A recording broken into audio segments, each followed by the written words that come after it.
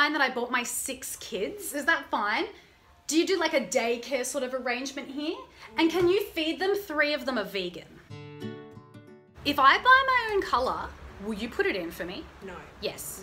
No. Okay. No, my appointment was at 10.30 and I've rolled in at 12. Can I just say, you're just at home anyway. So I was like, she'll be fine with it. I don't have any cash on me today, but I could probably transfer you the money in like three to four weeks. Is that fine? No, that's not fine. Okay. Today. Does it have to be Australian currency? Yes. Okay, because I've got like a bunch of dong, if that's fine with you. Don't want your dong. No, okay. I don't want my husband's either, but you know. I'm getting a spray tan after this and I completely forgot to shower. Do you mind if I shower in your house?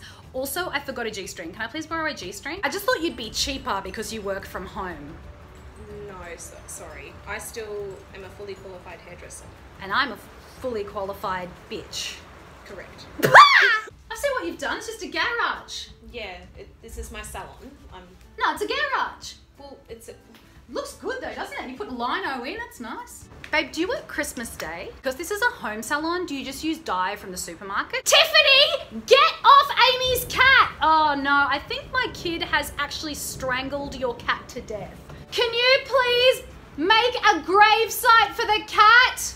I'm so sorry. She will bury it, don't worry. Yeah, I She's buried shi- so many cats. She has killed, honestly, so many.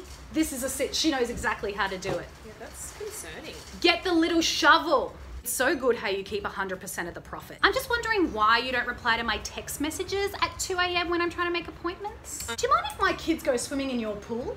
Your house is so nice. It's so great that you just like don't care if it's clean or not. Also, I saw this in the toilet. Can I have this? No, Oh, you're just like a normal salon. You've got like the normal salon thing. that I'm an actual salon, just at home. How crazy is that? Like, this is like the actual salon stuff. This is blowing my mind. Um, next time, can I bring my dog? Because your dogs are here.